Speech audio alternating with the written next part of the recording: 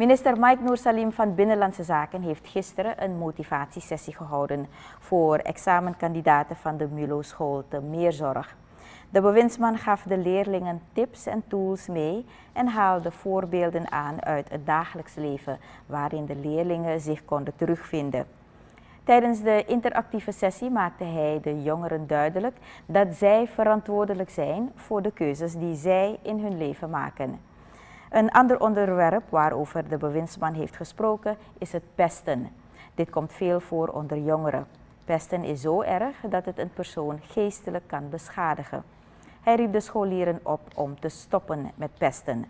Tot slot maakte de minister elke vierde klas een klok cadeau. Deze gift had ook een symbolische betekenis. Een klok herinnert je eraan hoe snel de tijd gaat en dat het nuttig moet worden gebruikt.